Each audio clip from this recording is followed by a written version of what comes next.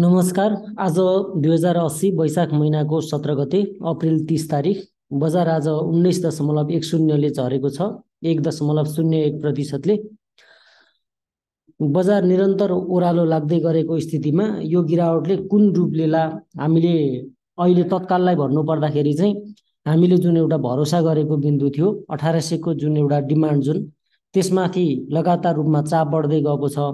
विशेष गरी आजको यो भिडियोमा म सपोर्ट ब्रेक गर्न सक्ने सम्भावना छ या छैन? टेक्निकल्ली के देखिन्छ? बाहिरको यो माहौलले के भन्छ भन्ने कुराहरू चाहिँ गर्ने प्रयास गर्नेछु। पहिला सुरुमा बेसिक इन्फर्मेसन हेरौँ। अठार सय सत्तरीमा आइपुगेको छ बजार र यो अठार सय सत्तरीमा आइपुग्दा आज एक दशमलव शून्य एक प्रतिशतले बजार झर्न पुग्यो। पन्चानब्बे करोडको आज कारोबार भएको छ। बत्तिस लाख किताको चाहिँ आज कारोबार भएको देखियो। आज एघार बजे अठार सय उनानब्बेबाट झरेको सुरु भएको बजार बिचमा एकचोटि माथि जाने प्रयास गर्यो जुन असफल भएपछि काहीँ पनि त्यस्तो माथि जाने प्रयास चाहिँ गरेन। बजारमा यदि सब इन्डेक्सहरू हेर्नुहुन्छ भने आज कुनै पनि सेक्टर आज हरियो छैन र एक दशमलव आठले हाइड्रो पावरमा क्षति भएको छ एक दशमलव छले ट्रेडिङ सेक्टरमा क्षति भएको छ। यो दुईवटा चाहिँ सबैभन्दा ज्यादा क्षति भएको देखियो। अन्यमा चाहिँ खासै त्यस्तो ठुलो क्षति छैन।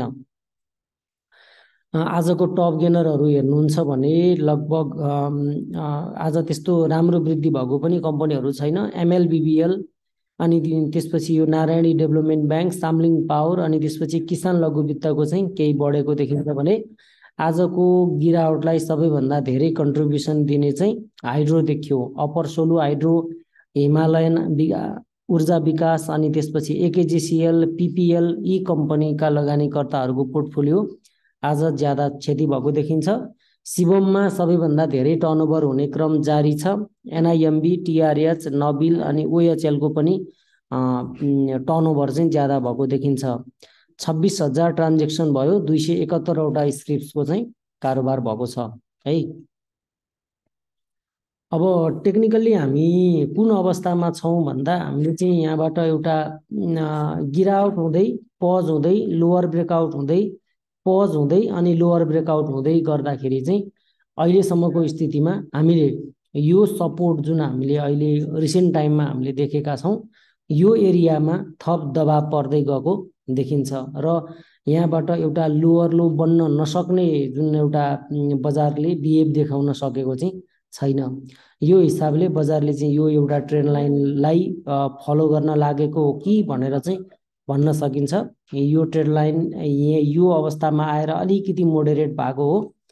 यो ट्रेन्ड लाइनलाई फलो गर्दाखेरि चाहिँ बजारले झन्डै झन्डै अब सत्र सय अस्सी अथवा सत्र सयसम्मको प्राइसलाई चाहिँ यो गिरावटले आकर्षण गर्न सक्छ भन्ने एउटा आकलन गर्न सकिन्छ।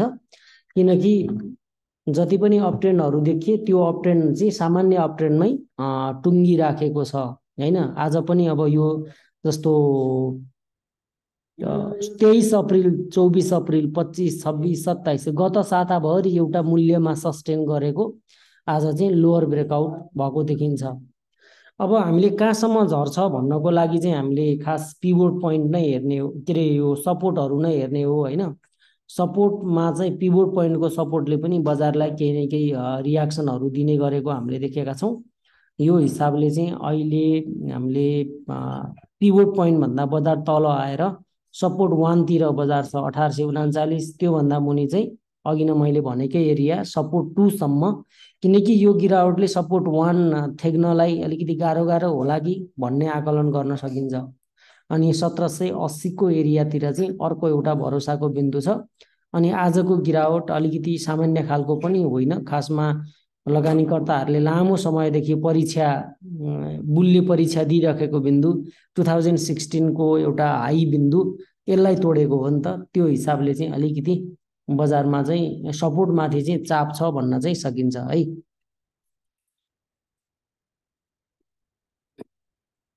अब हामीले यदि मन्थली ट्रेन्ड लाइन यदि हेर्ने हो भने बजार मन्थली ट्रेन्ड लाइनमा चाहिँ यस्तो देखिन्छ।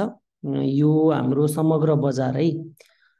यो समग्र बजारमा यो एउटा बियरको बटम यो एउटा बियरको बटम भने यो बियरको बटम यही एरियातिर हुन खोज्दाखेरि चाहिँ झन्डै झन्डै हामीले त्यही अघि नै हामीले भनेकै जस्तो लगभग सत्र सयको एरिया चाहिँ एकचोटि टच होला कि जस्तो देखिन्छ है।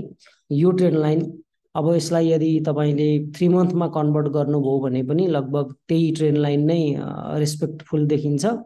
यदि विक्लीमा हेर्नुहुन्छ भने पनि झन्डै झन्डै यही ट्रेन लाइन नै देखिन्छ भनेपछि बजारले यो ट्रेन लाइनको सपोर्ट खोजेको हो कि त्यो पनि एउटा चासोको विषय छ। अब फेरि डे क्यान्डलमै फर्क्यौँ। अब हामीले यदि रिट्रेसमेन्टको कुरा गर्नुहुन्छ भने अनि अर्को यो जुन एउटा गिरावट छ यो गिरावटमा रिट्रेसमेन्ट हुँदै जाँदाखेरि चाहिँ इभन पचास पर्सेन्ट पनि रिट्रेस भएन। है यहाँ देख्न सक्नुहुन्छ यो हाई बिन्दु यो लो बिन्दु यहाँबाट शून्य दशमलव तेइसमै बजार तल गयो। अनि प्राइस एक्सन अनुसार चाहिँ यहाँ एउटा हेड एन्ड सोल्जर प्याटर्न पनि फर्मेसन हुन लागेको देखिन्छ। यदि नेकलाइन ब्रेक गर्यो भने चाहिँ यसले अलिकति ठिकै खालको क्षति गर्छ जस्तो देखिन्छ कि हेर्दाखेरि। यहाँ एउटा हेड एन्ड सोल्जर प्याटर्न छ र यसको यो नेकलाइन ब्रेक भयो भने चाहिँ लगानीकर्ताहरू तत्काल किन्ने पोजिसनमा चाहिँ नबस्लान् कि भन्ने आकलन गर्न सकिन्छ है?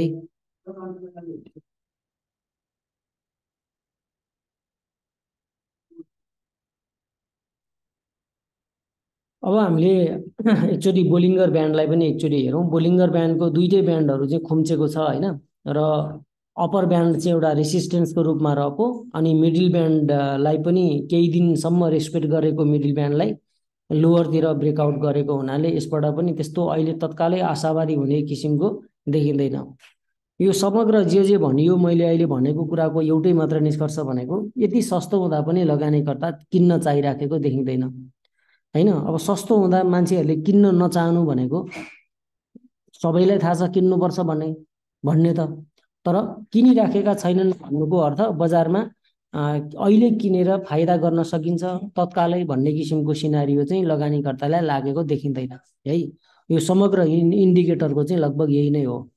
इभन बजार बढ्दै गयो भने पनि लगभग उन्नाइस सय बैसठीदेखि एकासीसम्मको एउटा महत्त्वपूर्ण रेसिस्टेन्स छ जुन पहिला हामी रेसिस्टेन्स चाहिँ बाइस सयको एरियालाई भन्ने गर्थ्यौँ अहिले चाहिँ यो उन्नाइस सयमा झरेको देखिन्छ। अब आज बजारलाई प्रभावित पार्ने न्युजहरू भनेको चाहिँ पुनर्बिमा कम्पनीको लाभांश घोषणा भएको छ। खासै त्यस्तो लाभांशले बाई प्रेसर ल्याउन सकेको देखिँदैन होइन? अनि दोस्रो बजार सुस्ताए सँगसँगै ओटिसी मार्केट जुन नेप्सेमा लिस्टिङ नभएकाहरूको स्टक मार्केट हुन्छ त्यो पनि लगभग सुस्ताको देखिन्छ। अनि नयाँ स्टक एक्सचेन्जले पनि अलिकति धेरै नै माहौल तताइराखेको छ होइन? कोही यसको पक्षमा छन् कोही यसको विपक्षमा छन्। अब मेरो निष्कर्ष भनेको चाहिँ दुईवटा एक्सचेन्ज स्टक एक्सचेन्ज हुँदा चाहिँ लगानीकर्ताहरूलाई चोइस बढ्छ फाइदै हुन्छ भन्ने हो होइन? अनि अर्को कुरा नयाँ स्टक एक्सचेन्ज आयो भने यो स्टक एक्सचेन्ज चाहिँ ध्वस्त हुन्छ। त्यो इन्डेक्स ध्वस्त हुने भनेको होइन कि कम्पनी चाहिँ अलिकति कम्पनीको प्रोफिटमा या नेप्से भनेको पनि त एउटा कम्पनी नै हो नि। त्यसको चाहिँ एउटा बिजनेसमा कम होला भनेको हो। तर लगानीकर्ताको एङ्गलबाट हेर्ने हो भने त त्यो नट अ ब्याड कुरा हो है। अब सपोर्ट जोनलाई चाहिँ लगातार रूपमा परीक्षा दिन परिराखेको छ बजारले। फेरि पनि मेरो निष्कर्ष त्यही नै हो। अहिलेको एकदमै लगानीकर्ताको फेभरेट जोन भनेको चाहिँ यही हो। यो एरियामा लगानीकर्ता अथवा बुलले चाहिँ पटक पटक परीक्षा दिन परिराखेको छ। होइन? यसलाई दुईवटा अर्थ लगाउन सकिन्छ कि? यो त धेरै पटक परीक्षामा उत्तीर्ण भइसकेको अठार सयमा त धेरै पटक बाहिर आइसकेको ठाउँ हो त्यो भएर यहाँ पुगेपछि बजार बढ्छ भन्ने एउटा पोजिटिभ एङ्गल।